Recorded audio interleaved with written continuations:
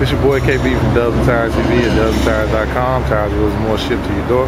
Right now we're looking at a old 2002 Lexus SC430, one of my favorite cars. the hard top. Great looking car, still holds its value to this day. It's a 20 by 8.5 or the 20 by 10. This is the high offset. You can do the uh, lower offset to give it a more aggressive look. But this one is uh, a little bit more elegant with the uh, high offset. See it's a great looking wheel, has the turbine effect. The other side goes the other way. Great looking wheel, nice looking vehicle. Came out beautiful in chrome. I think chrome will be coming back soon, so you'll see a little bit more of that. It's your boy KB from Dubs and Tires TV signing off.